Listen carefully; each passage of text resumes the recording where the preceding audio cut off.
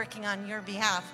We have got some exciting things. In fact, I don't even really know how to explain it. The men's event that is coming up August 20th has sort of kind of like morphed. That's the only way I just can describe it. We have got a band and everybody's invited and um, it's produced by the Men of Valor and there's going to be a pig roast and there's going to be really cool cars and the youth is going to do band and I don't even know what to say other than you have to be there. It is going to be a lot of fun, and we are going to invite the entire neighborhood. So, I mean, it's just a, a, a really wow experience. Probably one of the biggest events we've had since COVID. So, we just want you all to mark your calendars for August 20th. And then the following Sunday, that next day, August 21st, we are going to have water baptisms. And if you've given your heart to Jesus, but you have not followed him in water baptism, this is your opportunity.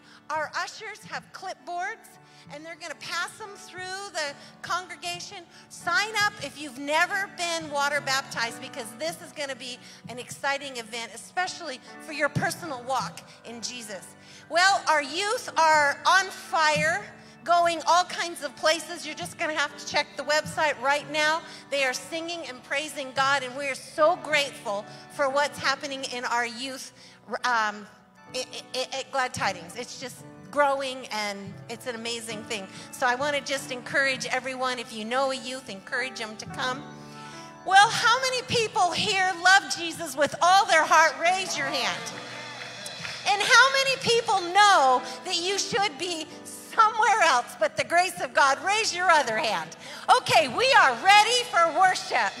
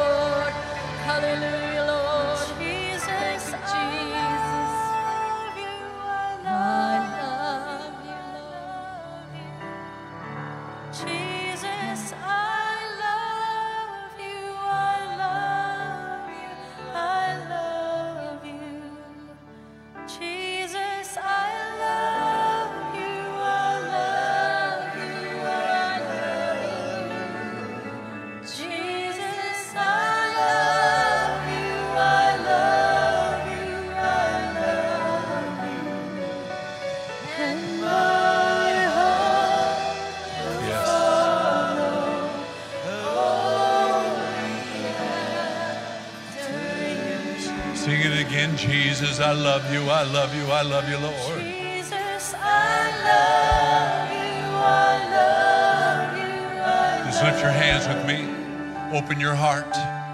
love you, I love Come on, let's push. Come on, team. Come on. Here we go. Let's push into Him.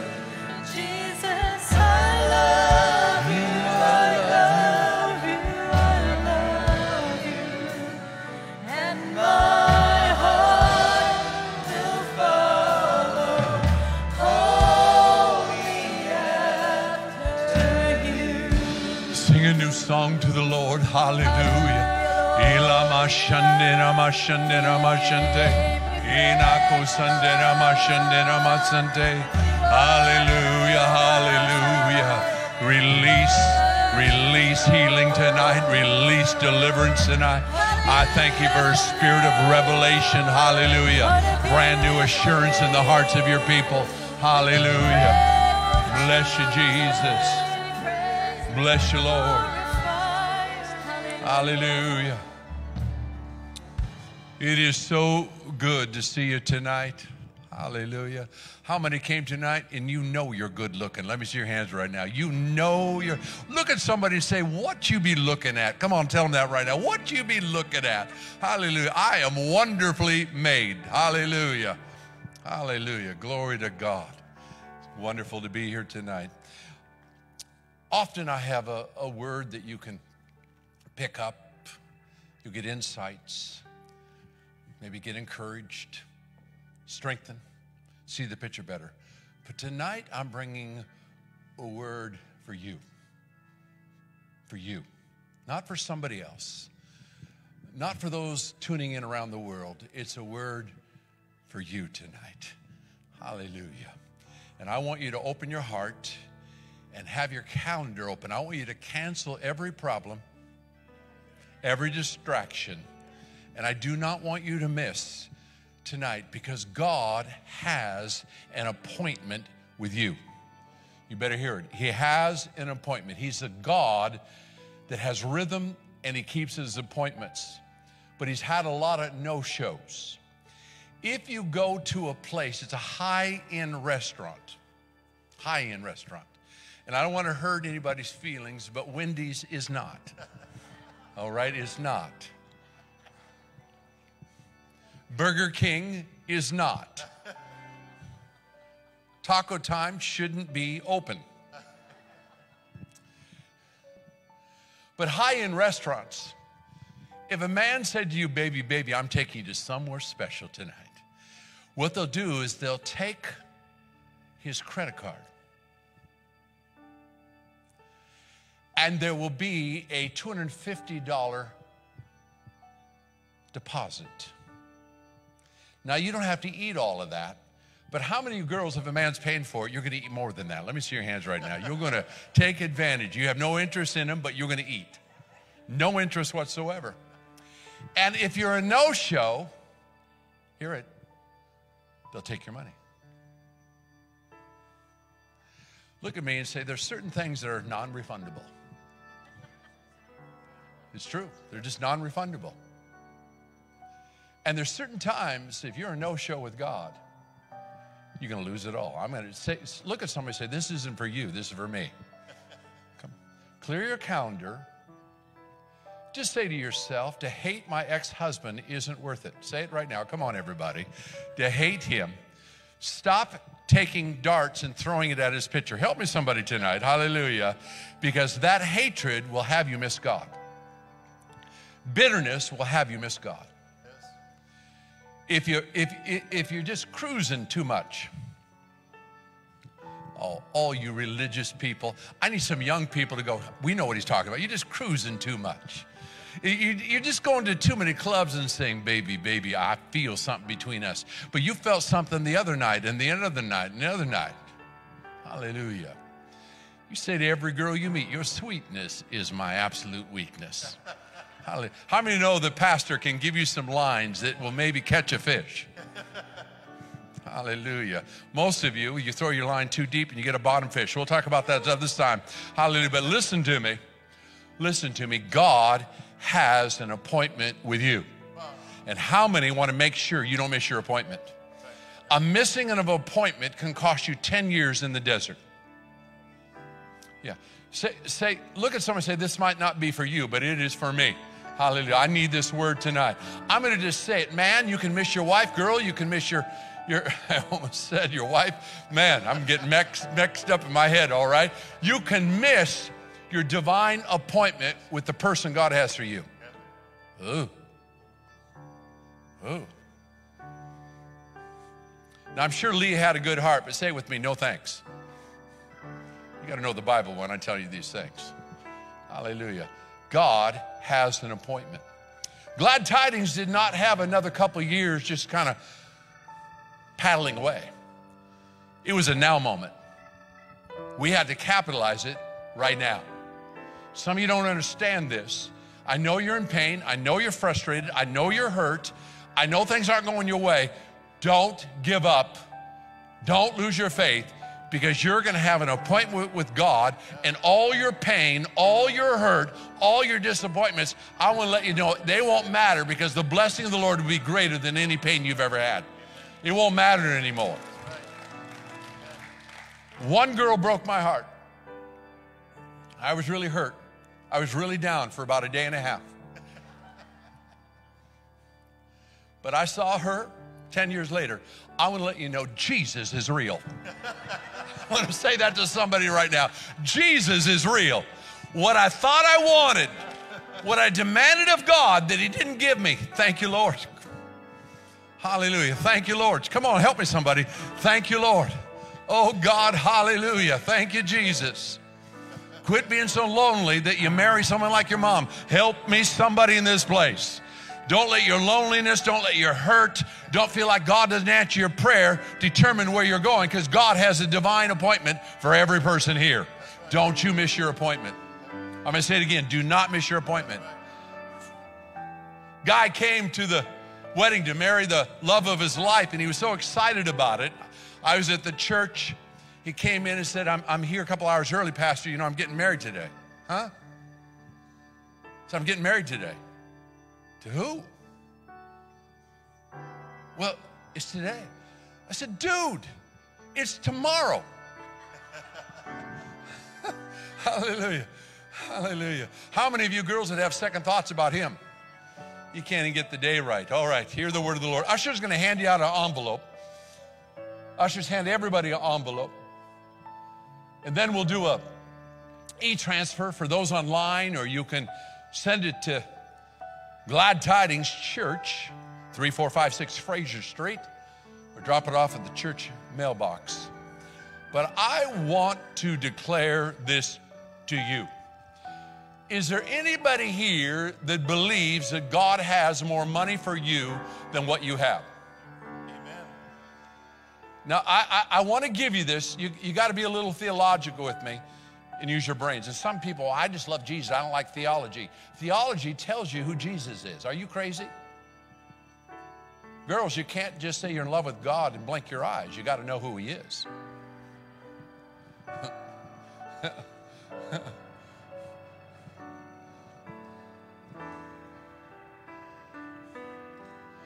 Egypt was a place of slavery for 400 years. And the people of God deserve to be there because they worship false gods. And so for 400 years, and I, I, the Egyptians are so smart. They worked you so hard that you had no strength to run away. They underfed you. Now, nobody here knows what I'm talking about, but explain it another time, all right? And so they were exhausted at night, so they couldn't make it across the great desert to get away. But God intervened. I said, God intervened. Try it again. But God intervened. There's some things that you're not strong enough to get out of, but God will intervene. Exodus chapter 12, verse 36. Here's what God said plunder the Egyptians. That God will cause people in high positions to look favorably towards you for no reason. Excuse me. I'm just going to bless myself. I've had people come to me from nowhere and say, God told me to give the church this large sum of money. I want to tell you what I said. Yes, he did. Come on, we'll try it again. Oh, yes, he did. Hallelujah. Hallelujah. Did he tell you? Listen closely. Put another zero behind it. From everywhere. Thousands of dollars have come in. How does that happen? I've asked God to anoint me so there'd be favor to plunder the Egyptians. Just hear it. And God will speak to people on your behalf. And if you don't believe it, then you just live your whole life in your own talent, in your own determination. How many like some help from God? God will speak to people. And it says he put a spirit on the people of God. And it says this a favorable disposition towards the people of God, and they gave to him. But here's what they did I'm going to have you do something, you're going to be very uncomfortable. You guys, you have needs. Hello. How many of you are tired of saying it's not your car, you're borrowing it? How many are tired of having a jumper cable ministry with your car? It's okay to have things in life. It's not a bad thing. Pastor Camara's wife went through a hard time. Best doctors, best food, whatever it takes when we get through this, buy her a new dress. Now, that wasn't the Lord, that was a smart pastor with a happy marriage. I said, How's she doing? She said, Oh, praise God. She led the prayer meeting. She's 85% there. I said, You have money still for the dress, don't you? He said, I set it aside. Hello? Good. God, I declare. Now, here's what it says in the word. It's very, very deep. It says this it says, And they specifically asked, and God spoke to the people, and they gave it. On Sunday, we asked for you to pay for the Arctic for all the equipment. We didn't want you to guess. We said, here's what we're going to do. Did you know thousands of dollars came in? Not 10, not 20. Come on, somebody yell at me. Hallelujah. That's favorable. Favorable. God put it on people's hearts. Wonderful people gave. Everything is paid for. I think they wrote a check. Did you write a check for 20,000? Is that what you did?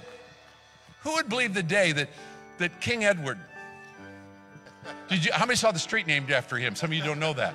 Holly, King Edward, he, he just writing big fat checks for the mission field. I, I thought in the last two months, did we get 57,000 in missions?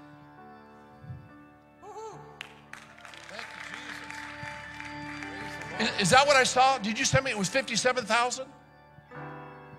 Oh, I'm going to ask again. I believe God for more. 50, $57,000 was given to the mission field. But we asked. What do we do? We ask, hey, we want to give to missions. We want to do this. We want to do that. Do what God tells you to do. And God put on people what? Favorable disposition. And I want some of you to stop squirming. Let's say you gave $10. That's great. That is great. You know, God didn't look at you any different than the person that gives 10,000, don't want to give 10. You give from your heart with sincerity when it comes to missions. That's what you do, all right? All of us do, do it together. We wouldn't have 57 if we didn't have people give 10. Because 10 times a thousand is money, honey. So here's what we're going to pray. You got to ask for specific things. How many need some things for your business? Let me see your hands. Hallelujah. Can I have a little fun with you? How many are due for new toupee? You've had it 30 years. Hallelujah. Hallelujah. A woman just lifted her hand. Put it down. Put it down, girl. Hallelujah. Hallelujah. Hallelujah. Don't be afraid. I want you to stand to your feet tonight in faith all through the house of God. Hallelujah. How many need, how many need a commission deal to go through? Let me see your hands right now. Ask God for it. Ask God for it. There's nothing wrong with that. You got families and things to take care of. Quit, quit this. Quit this crazy martyrism. God is not asking you to be a martyr. If I felt like you should be a martyr, I'd raise money to send you to Iraq and open up a new church. Hallelujah. Hear it. Hear it. Hallelujah. God will speak to bosses. God will speak. Edward found, I don't know what Edward does. He just digs for things. He's in there digging, looking, micro, magnifying glass and looking through drawers. He found $53,000 we didn't know he had. $53,000. Found $53,000 that was just kind of lost. It wasn't, the money wasn't lost, but it was an annuity. We got a few dollars a year from it. And he said, Hey, do we own the stock? He found out they owned the stock. Him and uncle got together. All the trustees got together, and we said, Sell it, baby. We'll try that again. Sell it, baby. Here's what all the trustees said Show me the money, honey. Hallelujah. We just rejoiced over that. I'm telling you, God has things for you. I'm telling you, God has deals for you. I'm telling you, God has opportunities for you. But you got to get that anointing on you. When you tithe, listen to me. When you tithe, God will start to put favorable dispositions on people on your behalf. Right now, I'm at a hundred million dollars in my ministry that God has anointed me to raise over the last 40 years. A hundred million dollars. And I've asked God, God, put a oil and anointing on me that every time I come to the pulpit, people are blessed in the name of Jesus. People are helped in the name of Jesus. And especially, I'm a fighter for the single moms. I want every single mom to know the Lord is with you. You're not alone. And I'm believing God to give you double for all your trouble. Hallelujah. I believe it with all my heart. Hallelujah. Let's hold our tithe up tonight. Glory to God. Hallelujah. Father, we just love you. We thank you for the opportunity to give to you, to give to your kingdom, to give to your house. And Father, I pray right now in the name of Jesus, there would be a favorable disposition put on people on the behalf of your saints. They have specific needs right here. Everybody here has some kind of need. Let them be met in the mighty name of Jesus. And everybody said, Amen. Amen. Let's give to the Lord tonight. Hallelujah.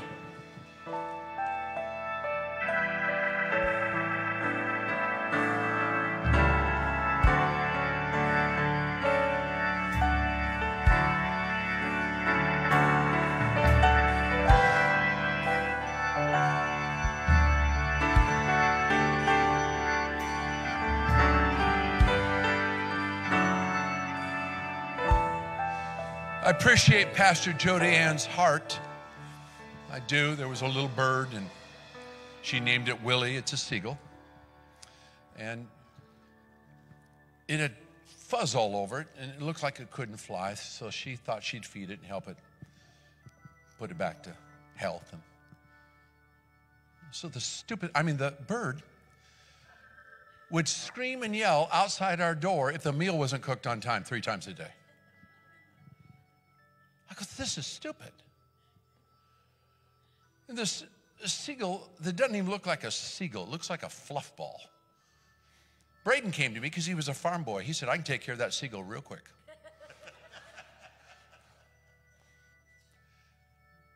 and then she got a pool because it was hot up on the roof. And it's in there flopping and happy. And, and then it decides it's lunch and just starts yelling at us. And then she said, Hun, hun, come here. I said, What, love? She said, Look at the sister just showed up. I go, What? So we got Willie, we got Dilly, and today, guess what happened? A baby showed up. Now we have Silly. So Pastor Schott is a seagull caretaker. it's crazy, isn't it? It is crazy. She's giggling, she's laughing. I'm going, Braden. Come on, everybody, help me right now. Braden, I need you, killer. I need you right now. Hallelujah. I need you. Take a moment, just stand with me. Tonight is a, a great night to be in the house of the Lord. Ecclesiastes 3 and verse 1. Everything, listen to me, everything has a time. Listen to me. Everything has a season. Everything under the sun, God declares in His Word, has a time and a season. Did you know that we are halfway through the summer already?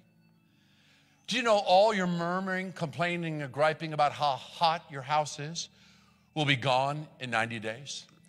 And you'll freeze like all the rest of the fools across Canada. Come on, everybody, help me right now. All of us will be shaking and freezing all together and getting in our cars and having ice on it and being mad. And then we'll be mad all winter, and then the rains will come. And then our feet will be wet. I need somebody yell at me right now. We'll be complaining about that and complaining about that. And then after that, then the summer will be back and we'll go back to a new complaint.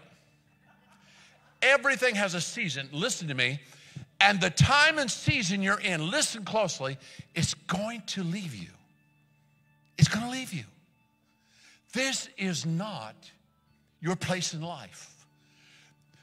There's wholesome desires in every person here, and it hasn't happened yet, but it will. You're just in a time and a season, but I want to let you know it's on its way. It's on its way. Jody Ann, she was a woman when she was 13. There's no ifs, ands, or buts about it. I would say that she was in many ways more mature than her parents at 13 years. She was a woman at 13. And she saw all the dopey guys in church. I need somebody to yell me down right now. And, and she said, I, don't have any interest in little scripture memory guys that don't have any brains and they don't believe what they're memorizing. And she began to cry out to God, Bring me a man.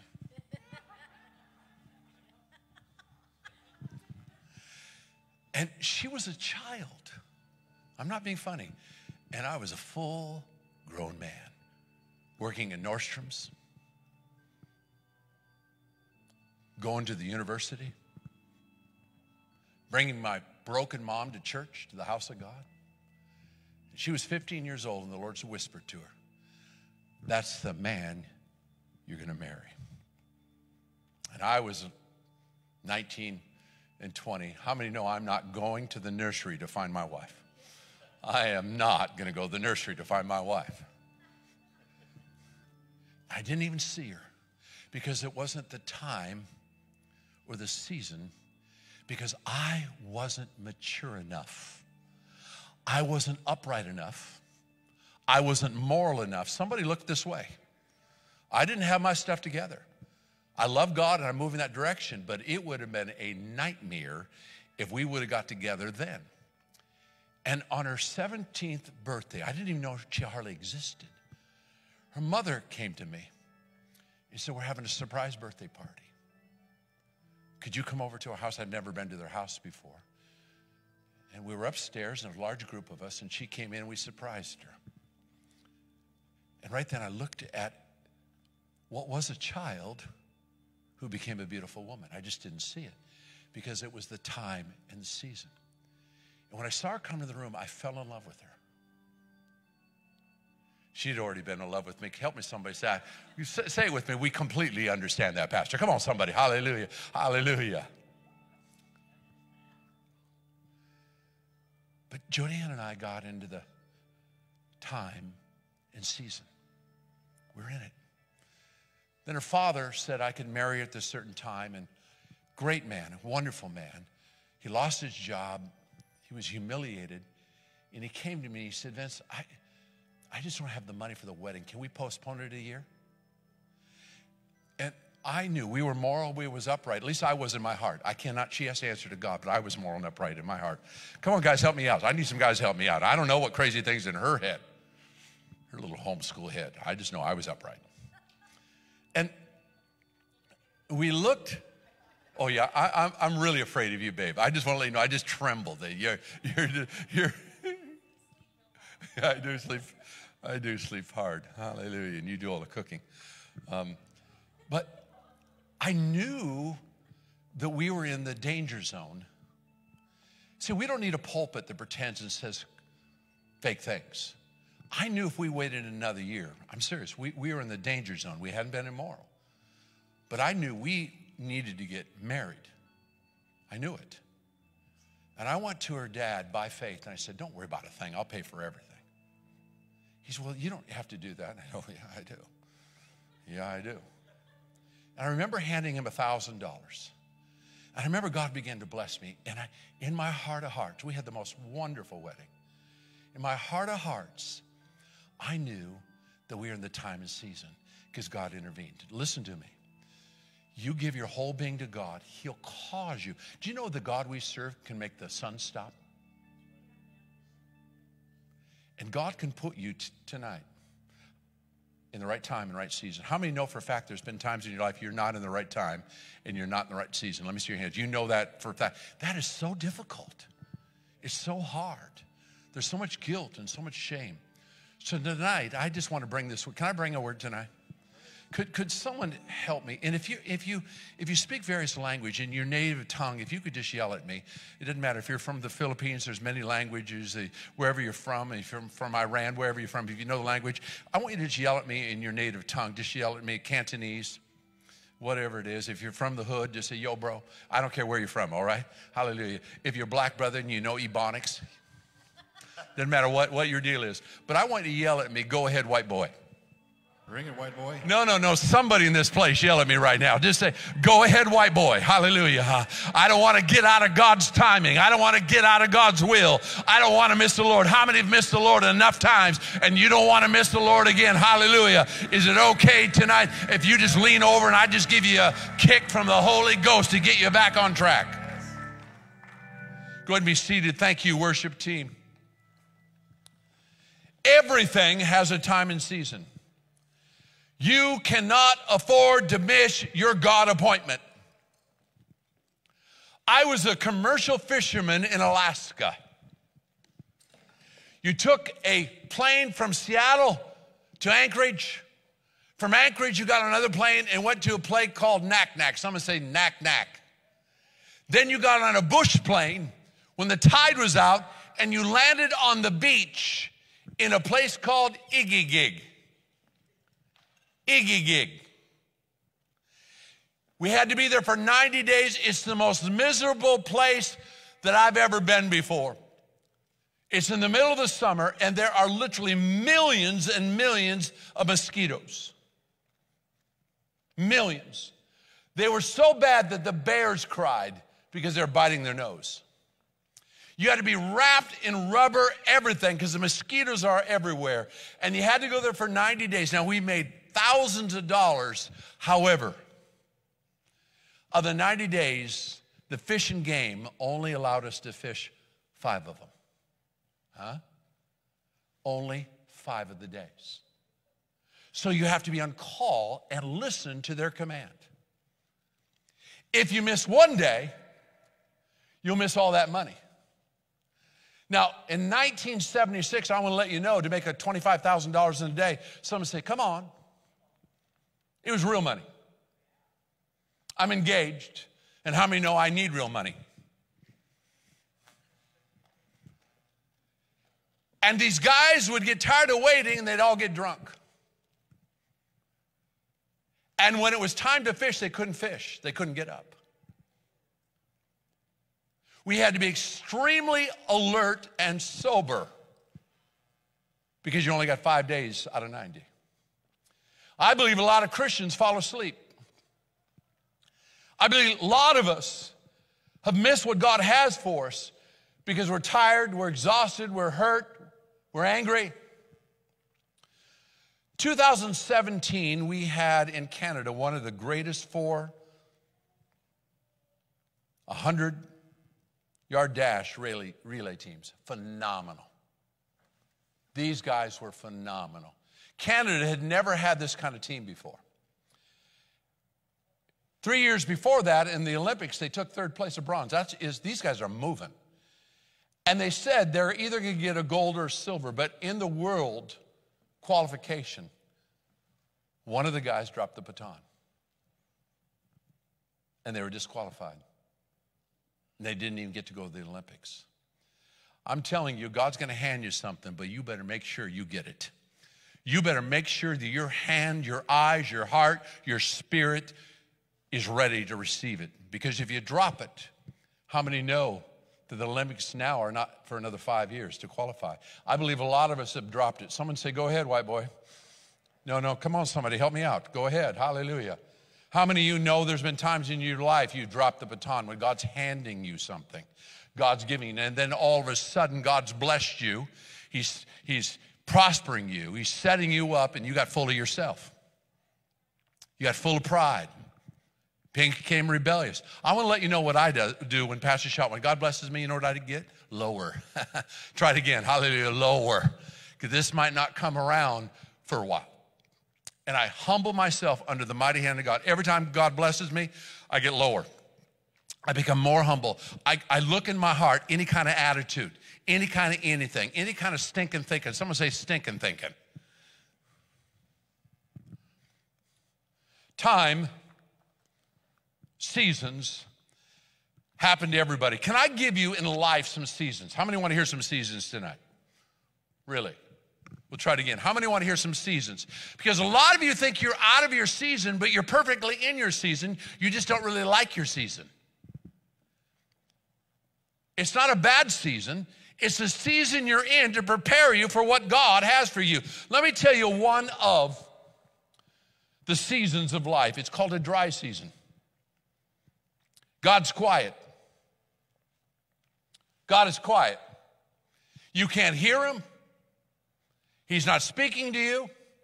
Let me help you out. What God said to you in the light, remember in the dark. When you're in a season of blessing and open heaven, when you go in the dry season, remember what God said to you in the light. So now you're in the cave. Some of you believe what God said over this house in a good season. Then we had a long bad season, but because you held on to that word, now we're in a real good season. Hallelujah. It's called a dry season. Here's your answer to your dry season. It's found in Psalms 119, verse 11. Psalms 119, verse 11. I've hidden your word in my heart that I might not sin against you.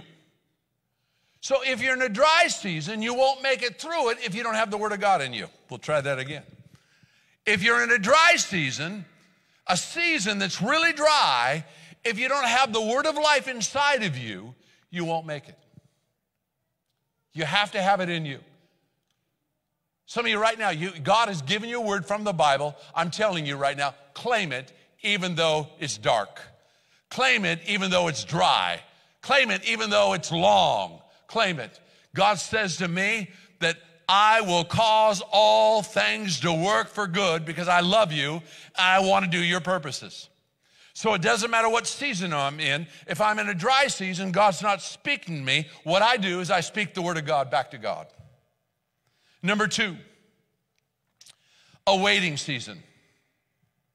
Huh. How many are not good at waiting? Let me see your hands right now. You're not good at waiting. How many at the grocery store when there's the express lane that you will count how many goods those people have? because you don't like to wait. And some of you, they have a thing of bananas and you count every banana as if that's.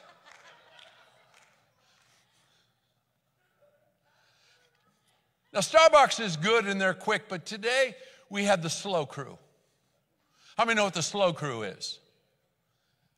And we went in, into Starbucks and we got all of our stuff, but that which really mattered my food. Got the drinks. Jody Ann got her little whatever she got. And I'm standing there. And all these people who called in, they're not there, I'm here. Now, I did not sin, but I considered it, but I thought I got to preach tonight. And it was, it was eternity. I mean, it was eternity. It was forever. I remember walking up there and she said, Oh, I'm so sorry, Pastor. Oh, oh, good to see you, Pastor. How are you? Shalom alaikum. Oh, shalom you. I'll shalom you in the head. And then she left. And another one came. Are you waiting for something? Kind of. Waiting for your life to come to an end. That's what I'm waiting for here. I mean, it was forever. I felt like they quoted the scripture our God, 1,000 days or 1,000 years is like one day. I just I felt that was a scripture. That, it was just, oh, it was just forever. Waiting. Psalms 46:10. Be still and know that I am God.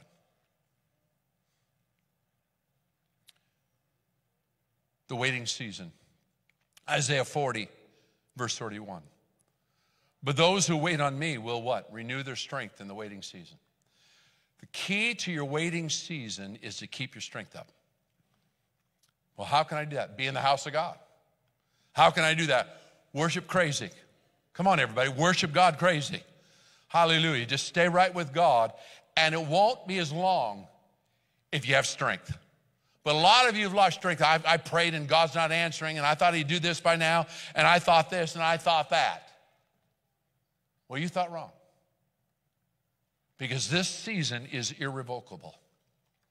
It happens to everybody. Let me give parents, young collegians, another season, starting your career and your businesses. It's called the busy season. I don't have enough time. It's the busy season. When you have five kids, you're busy. Let me tell you next week what I have. I'm going to preach three times very well. We'll try that again. I'm going to preach three times very well. Tomorrow morning, I'm going to leave early in the morning and I'm going to drive 400 miles and do a prophetic conference tomorrow. Okay? So I'm going to do the conference. I'm going to preach Sunday. I, am going to preach, listen to me, 10 television programs next week.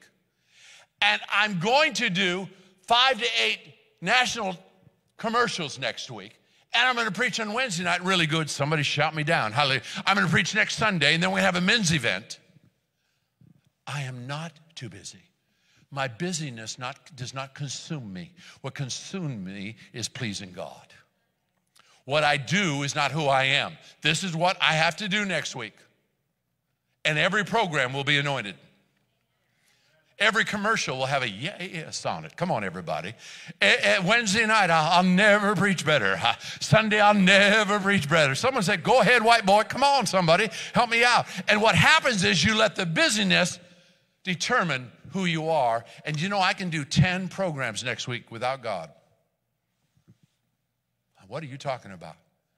I can just go through the motions and do, or every one of them is going to be anointed and touch a heart across this nation. Busyness. It's a busy season. Having kids. We had five kids, I'll never forget it, where we have night service. Morning, we had two services, and we're going every which way. And we just kind of left. We want to get the kids to lay down and have a little bite to eat before the night service, and we left our baby at church. We were busy. We looked in the car and we said, Where's Austin? She said, I thought you had him. I said, I never wanted him.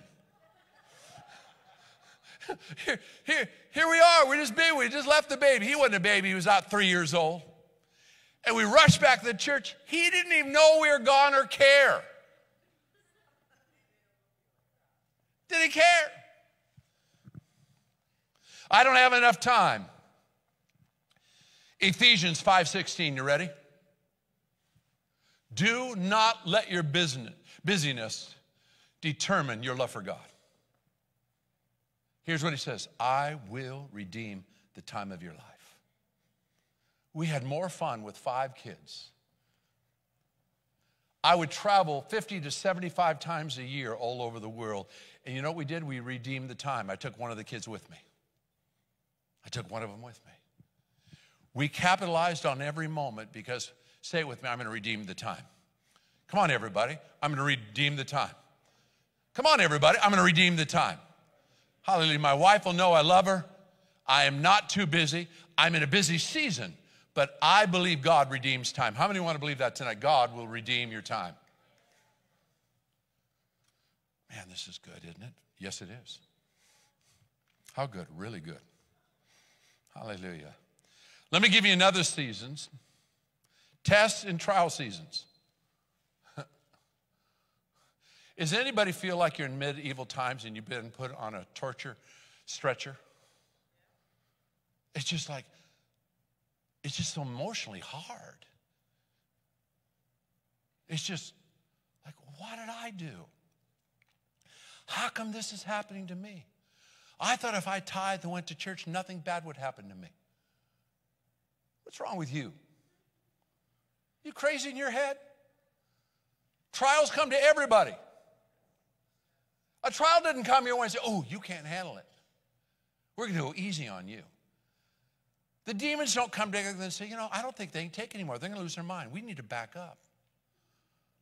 It didn't work that way. We had a, a prophetic word. We'll live in a perpetual honeymoon. I want to let you know there's some times it, it, it, there was not a moon and there wasn't any honey. But we carried in our heart perpetual honeymoon. Glory to God. Are we having the time of our life? Hallelujah. Isn't this wonderful? How can it be wonderful? It's just wonderful. Because I'm not going to let the trials and the tests, let me tell you about a, a trial and a test. It tells you who you really are. And how many don't really like who you are sometimes? When preacher comes, I don't believe in God. I don't believe in this. Uh, the pastor's just this, and this and that and that. How many done that before? How many have thought it? How many have thought that? I'm not going, I'm not this. How many thought it before? All right, we'll try one thing. How many are dirty, filthy liars? You just, there we go. We've all thought that. I don't need to take this. I don't need this. I don't need these people complaining to me. I don't need, yeah, maybe I do. Maybe I'm not as holy as I think I am. Maybe I'm not. The whole time, no one said, Preach it, white boy. And right at the wrong time, someone said, I'm not as holy as I think I am. Preach it, white boy. That's not true about you. Yeah, you're nothing. Hmm. Oh, it's so good to be here. Test and trial season. Galatians 6 9. Don't become weary in doing good. At the proper time, you will reap a great harvest. Don't get weary. Don't get weary. Because God promises in your trial, you're going to have a great harvest. Hallelujah.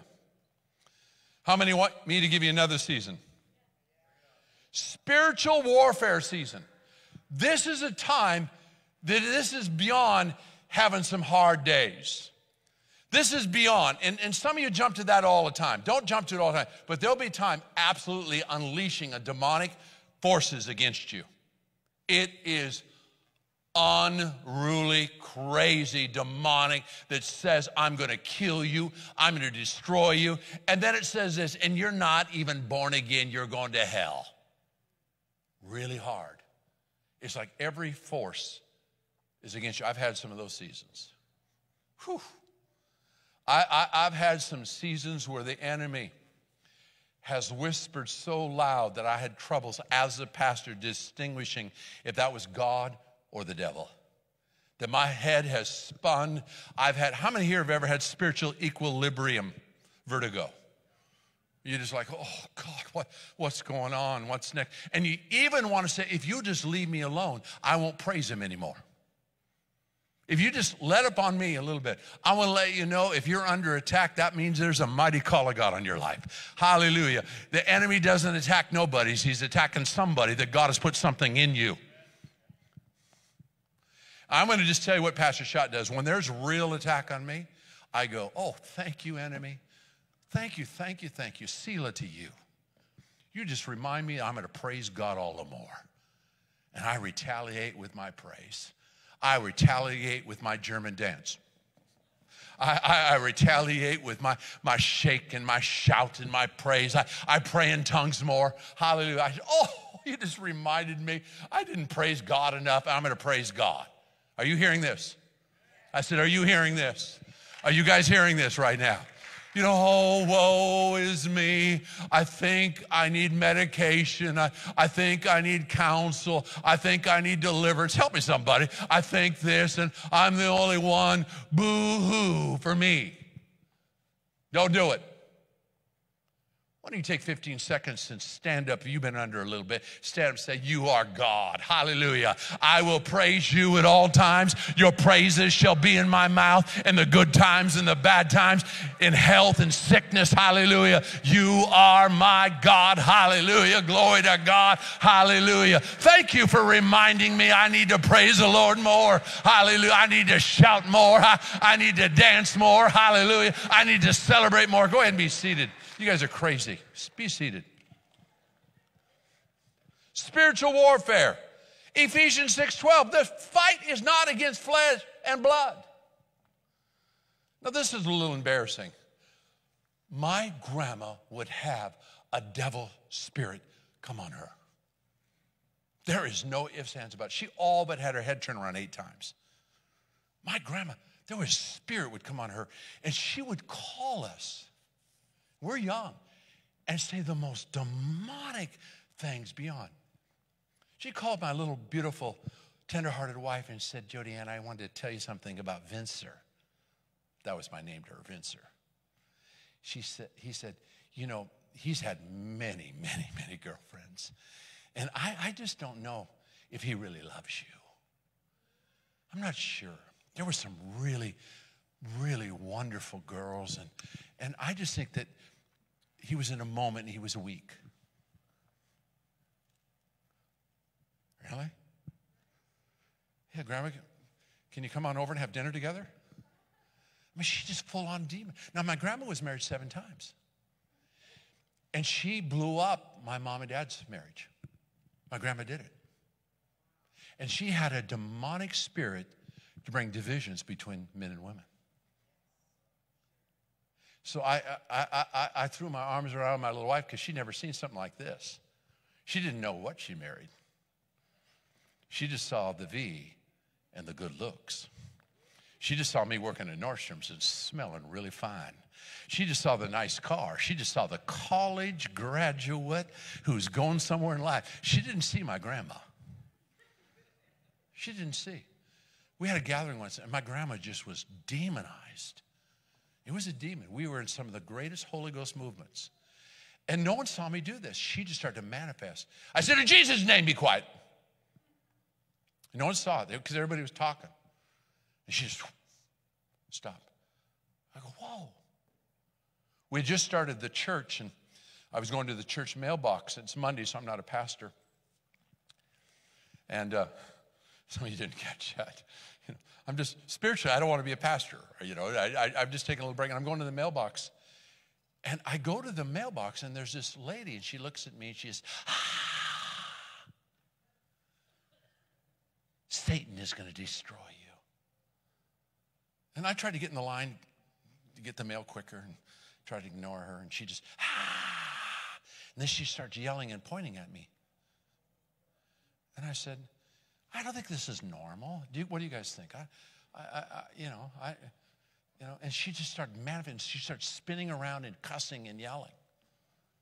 I went, I'm not a pastor on Monday. I'll be ready on Tuesday. but I just want to go to get the mailbox. And so I got out of there real quick. And then people started calling our house demonic people, just out of nowhere.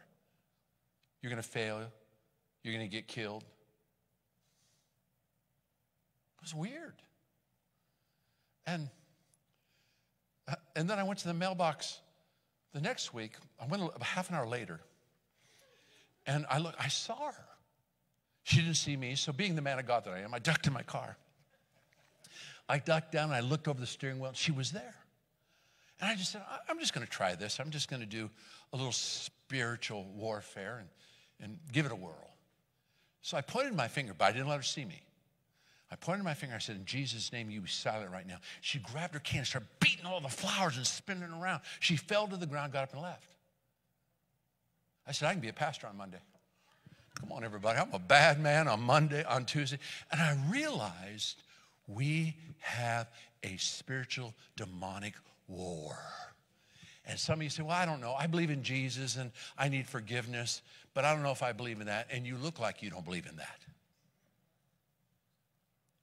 Our fight, say fight, is not Ephesians chapter 6 and verse 12 flesh and blood. Flesh and blood. I don't want to be a spiritual kook, but I'm going to let you know there are generational curses in your family, and they want to bring you down. Isaiah 54 17. No weapon formed against Pastor Schott shall prosper. Try that again. No weapon. Enemy, you have no authority over my life. None. I plead the blood of Jesus. I release your angels over me. I thank you, God. Your oil is on my life. Come on, somebody, help me out right now. There is a season of spiritual warfare. Can I give you one more? Thank you. It's called the blessed season. It's called the blessed season. Now, if you're wounded from the spiritual warfare, if you gave up because of the tests and trials, if you became too busy for the will of God in your life, if what God said has taken too long, and if you died in the dry season, you will never enjoy the blessed season.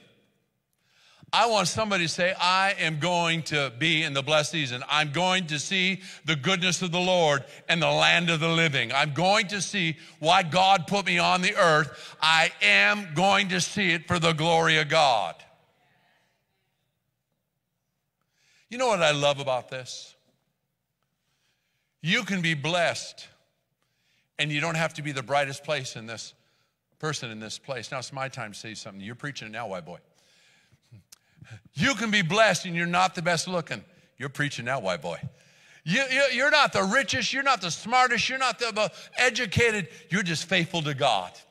And God will have a blessing for every one of his people. And there will be a season that will make up for all your other seasons called the blessing season. It'll make up. You will say, even though you were hurt, you were broke, you were betrayed, you were crushed, when the blessed season comes, you will say to God, It was worth it. Hallelujah. It was worth it. Glory to God. I thank God I made it through that other season, but this season is so good that I'd go through anything for this day.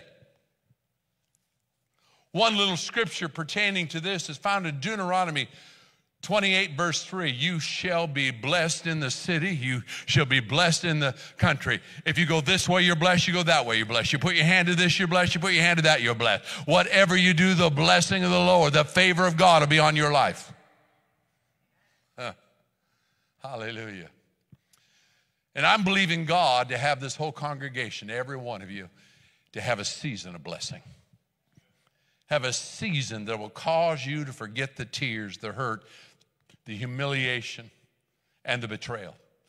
That your heart will be full of love and gratitude, and you won't be mad at anybody, and you won't be prejudiced, and you won't have a mad mouth, and you won't have a hard heart because you're blessed. When the blessing of God comes on you, I want to tell you, you're afraid to be dumb. There will be a fear God on you. You'll say to yourself, I ain't this smart for this to be this good. This isn't because of my genius brilliance. This isn't because of my determination.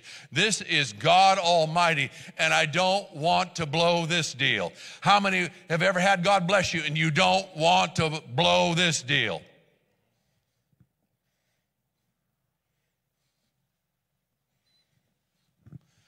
Praise the Lord, everybody. I believe that God is extending the blessing season. in Los Angeles on January 4th, 1949. It was 27 degrees. I checked in Anchorage, Alaska on that day, it was hotter. And those people moved there, many of them because of health conditions. They had worked in factories and their bodies were sick. So they moved from Michigan and cold states, factory workers, and they moved back then to beautiful Los Angeles, Wilshire Boulevard, all these places. And literally, the hospital was full of panic attacks. Because the doctor said, You got to get into a climate that's warmer. And they did, or your life is going to be over. So when that cold came, they began to panic. They said to themselves, because normally it's 60 to 80 degrees, and it was 27. And if you're Canadian, you don't know what 27 is. How many want me to tell you right now what 27 is? Cold, baby. A real cold. Horrible cold. You can extend your bad season if you stay in a season that God doesn't want you in anymore. You can stay in a climate spiritually. And I'm going to share one more insight. Can I do that? I'm not going to preach it tonight, but one more insight. 1 Kings 22, it says, Don't force your season. Listen to me. Don't force the season you want to be in. Don't force it. Don't say, well, God, if you don't do this, then I'm going to. Don't force it. Because there was two great leaders who wouldn't listen to God, and they had a phenomenal word from God. And God said to him, look at, don't go to war right now. Go home in peace. How many would like from the prophet of God to give you a word that says in everything in your life is going to have divine peace? Let me see your hands right now. That was the word. That was the word. But they went to false prophets. And this weekend, you can go to a hotel and there'll be a false prophet that'll take your money, but won't care about your soul. They won't care about you. And they'll give you flowery words and they'll tell you this and that. We've seen it over and over again. And it's not God, but you want it to be so bad, you make it God when it's not. I'm going to say this in love. Your blessing season is a lot closer than you think. I'll say it again. Your blessing season is way closer than you think. I want to let you know we're 120 days from winter. And we'll look at the mountain again and we'll see the snow again. We'll see the beauty again. We went up to Whistler last Thursday, and there's still snow on some of the high peaks, even though it was hot down below. And I want to let you know today that God is going to sprinkle His snow and His greatness and His mercy and His blessing on your life. If you tonight say, God, I'm going to respond right in my season. Stand with me tonight. Hallelujah. God, I'm going to stay right in my season. Don't force your season. Don't force your season. Praise the Lord in the season you're in. Thank God for where you're at right now. How many most of the day, how many of you have sanity? Let me see your hands right now, most of the day. Hallelujah. How many have provision? Most of the time, let me see your hands right now. How many, how many of you can say, God's been good to me? Put your hands up right now. How many, because of the precious blood of Jesus, that you're going to heaven? You don't have to worry about damnation. You're going to heaven because of the precious blood of Jesus.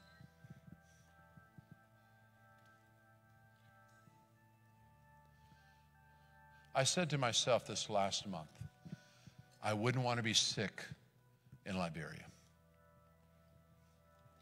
I did. I just said it to myself.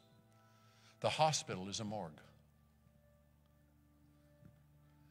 It's the place where they embalm you and prepare you for death. And I just began to think about that. I don't want to be, wouldn't want to be sick in Liberia. And when I called the man of God, I felt that his wife was going to die. I just sensed it. I didn't know she hadn't stood up for 10 days. She couldn't open her eyes. She had no feelings in her leg. She wouldn't eat. And the Lord said to me, I'm going to use glad tidings to save her life and bless her. You see, God will come to your impossible situations and He'll bless you. He'll bless you. I remember six months ago, I rebuked Pastor Camara pretty hard. You know, a lot of people want me to be their pastor, but they just want me to say, oh, do, do, do, do, do, do. We'll try that again. Oh, do, do, do, boo, boo, bee, bee, oh, do, do, do. You know, do, do, do, do. Oh, my little, my, my beautiful little perfect. Oh, do, do, do. You're not perfect. Don't fool me. Hallelujah. No, that didn't happen. You're wonderful, but you ain't perfect. You did. I, I, I, can, I can see it on you right now. You push you too much. Oh, girl, I'll take you out. You know what I'm talking about. I will mess you up permanently. I will pull out my switchblade and have you look like all my sisters and cousins. We all got that. Come on, everybody. We all got that in us. All of us are. Come on. I need some people to say, You are rumbling in the jungle. You are crazy. Are there any crazy people here? Put your hands up right now. You're crazy. You're double crazy. Hallelujah. Hallelujah. Come on. All of a sudden, you're, Ah, kill you. It's true. And I rebuked him. He said something uh, with a pure heart, but he said, I really feel like I'm going to travel the world and have a ministry around the world. I said, You don't have anything to say. You think you can preach better than me? And he goes, Well, no, no, Pastor. You can't. And you don't have a ministry around the world. Some of you'd be offended. But I'll let you know, he could have walked out of a season of his wife being saved. I said, You are a wonderful, godly man. I so admire you and respect you. But your anointing comes because you love Liberia, not because you have a word and you will travel all over the world and they'll want to hear what God's doing in Liberia. Your word is not your word, your word is Liberia. And as long as you love Liberia, God will send you all over the world. We need to hear the word of the Lord in you by the place that you love and you've been faithful to. And God's going to raise you up and promote you. You're going to prophesy to kings. Come on, somebody. And pastors from all over Africa will look to you for help to be a father, but you are not going to travel the world and have a word. You're going to travel because you love the place you're at, and God's going to use you mightily. And he could have been mad at me. Who's this guy to tell me? Someone say, Go ahead, white boy. He could have been all offended. He said, You're right. Thank you, Pastor. I'm going to ask you right now God's going to take you out of the season that you can't handle much longer. But you got to get your spirit right. you got, is there anybody here have a little crazy thinking. Come on, somebody. Anybody here think a little too highly of yourself sometimes? Anybody here stubborn? Is anybody here, you're not only German, but you're mule? Let me see your hands right now. Is anybody here? Hallelujah. And God would say to us, Lord, I'm your servant.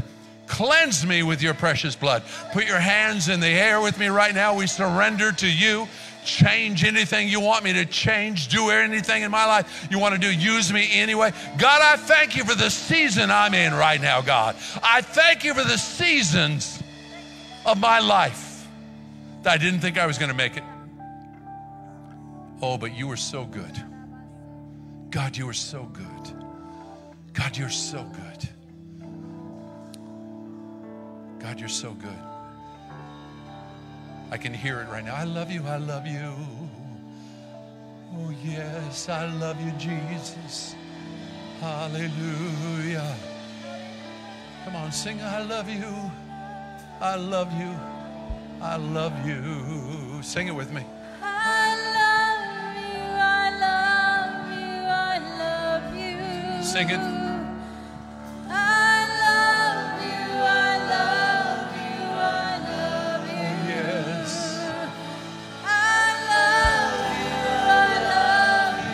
Whatever season you're in right now, step out and come to the altar and lift your hands to God. Just come out right now and just say, Come to the altar right now, all through this place, and just say, I love you, God. I love you, God. It's the thing that'll keep you alive, whatever season you're in. Just come and tell Him, I love you, Jesus. Come on, team. Push in. Come on. Here we go. Just tell God whatever season you're in.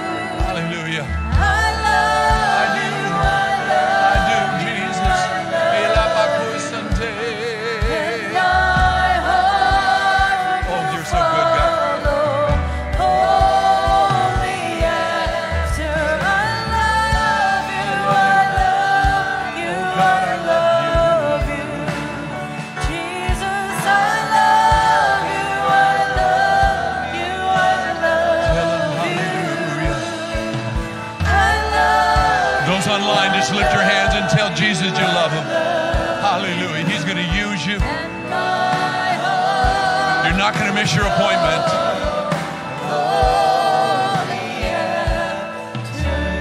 Sing it once more. Just sing it to the Lord. I love you.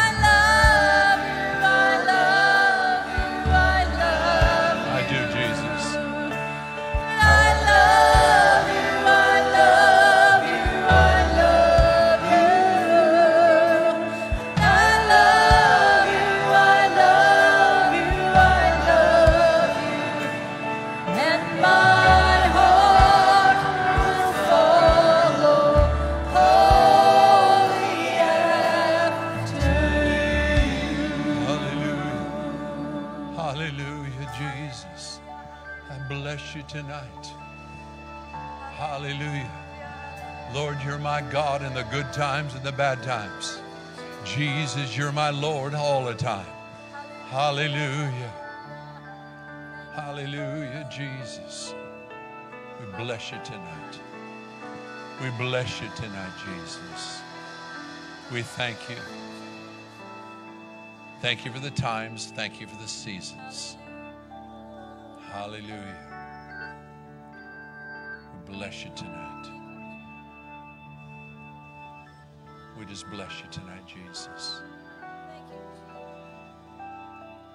Just from your heart, just tell him, I love you, Jesus. I just love you. I want to please you. I want to honor you with my life.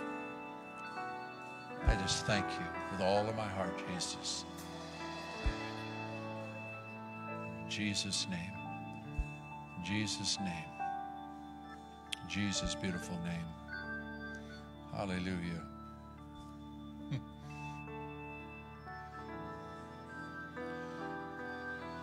always, I want to always be transparent. I never want to preach down to anyone. I always want to preach up. I always want to preach up. I had a little season where I just said to God, my life is a waste.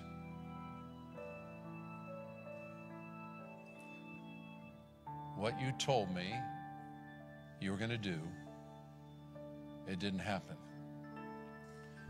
And the Lord's mercy reached down to me and said, just watch and see. I heard God, just watch and see. And you'll never be able to say you did it.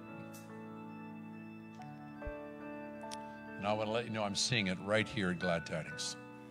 I'm seeing some most broken, hurt, betrayed people I've ever met in my life who are the most beautiful, full of faith, lovely people. This is a tremendous place. If you don't think it is, I want to remind you we're sinners here and we're good at it.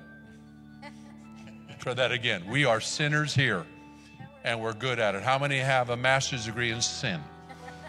Hallelujah. Oh, come on, everybody. We're, we're good. This is a wonderful place. It's a great place. Hallelujah. God's moving in an incredible way in this place. If I could just take a moment and just, just hear this father you. You know, I know you were a baby and you were one month old and they sprinkled on your head. I, I understand that. And you got dropped in your head too, but we won't talk about that. Okay. Water baptism is absolutely essential. Now, it doesn't save you, the blood of Jesus does. But water baptism is you saying to the world, Jesus is my Lord. It's your confession of faith. And I don't want to make you guilty, but the Bible says, if you deny me before men, I'll deny you before the Father. And I don't want to find out what that means. How many don't want to find out what that means? I don't want to know. That, that, that, that scripture doesn't pertain to me, you know. But water baptism is very important.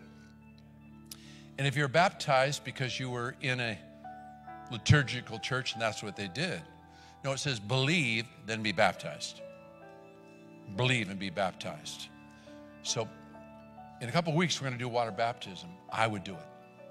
I just, I would just be, I'd be baptized. I wouldn't even pray about it. I wouldn't think about it. Uh, I would recommend they're going to do a little class on Sunday after service, just give you the information. And then I want to make this announcement. When you're baptized, because many of you will be, wear dark clothes. I want to say, some of you didn't get that, you know. Please wear dark clothes. Number one, we don't want you to come out of there and you become the tempter. And number two, we don't want people to guide, gouge your eyes out because you come out of that pool. So there's two ways to look at it, all right? But I'm going to just tell you there's ushers, where, where are those clipboards? Where's the clipboards? Somebody. Sign up if you haven't been baptized. Do it. We're going to do it on the 21st. It's going to be a major celebration. But if you have not been baptized, I, I'm sorry to be this strong. Be baptized. Be baptized. Second thing, God has put together uh, a Bible school for the fall. It won't happen until the first week of October. And I really felt led, a great pastor, he's pastored for 50 years, is going to come and be the dean. And we'll be able to give certificates of completion for classes. And it's going to be really a whole nother level. Our Bible school's been good, but we're just going to go way up. Because I'm going to say way up. And the first, the first four weeks, it'll be in October. Uh, we're going to do, and some of you don't, you won't understand this right now, but it's called Davidic worship. Where did we get worship in the Bible? How did the tabernacle of David take place? It's going to be for real. Hallelujah. So, and there will be some homework. You can audit it. And I just have really prayed about it. We are not going to charge anybody. I don't have peace about it. I just don't have peace about charging people. I just feel like we just need to do that. I'm not saying I'm smart, but I do have a master's degree in Bible, and I didn't get it through the mail. All right? And the other gentleman has a doctorate, and that doesn't mean anything. There's some dumb doctors. How many know that for a fact? Some dumb, dumb, dumb. But there is an academia and biblical knowledge. It's going to be over the top. So I want to tell you in advance, it'll start. We'll do it the first week in October, Monday night. Then we'll have Canadian Thanksgiving. And then we'll do three weeks after that. So that's going to be our first semester. And I'm going to have him come and preach on Wednesday night, I think the tw- August 31st. And then afterwards, we're going to have a gathering with him. He's going to talk about the school. It's going to be really, really, really, say it's going to be really big. Come on, somebody say it right. It's going to be really big. So we're really excited about it. Um, I'm anticipating online about 500 students. Um, but I would prefer, especially those who are getting a certificate, you're in person. There's nothing like interacting with a professor. Okay, so it's going to be really good. So those are the things. Water baptism. Somebody say water baptism. Well, Pastor, I, I, they, my cousin. No, no, be baptized in water. My, my cousin uh, spit on me. No, no, no, no, no, no. Be baptized. Be immersed in water. All right, we can we can have a little fun with you, right?